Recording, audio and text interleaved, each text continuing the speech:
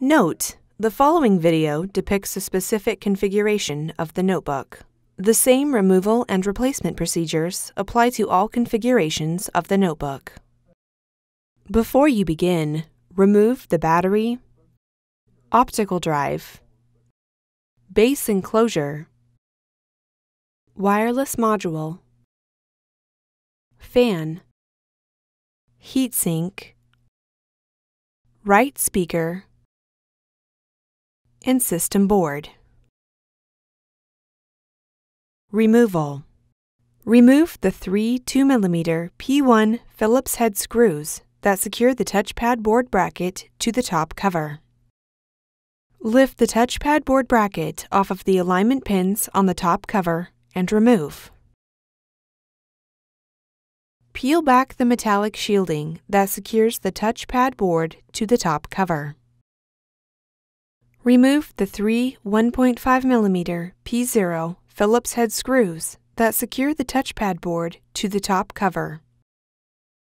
Lift the touchpad board off of the alignment pins and remove the retention tab from under the keyboard bracket. Remove the touchpad board and place it into a static dissipative bag.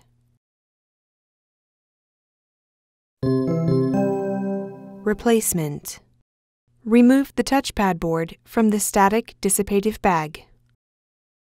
Tow the retention tab on the touchpad board under the keyboard bracket and lower it onto the alignment pins on the top cover.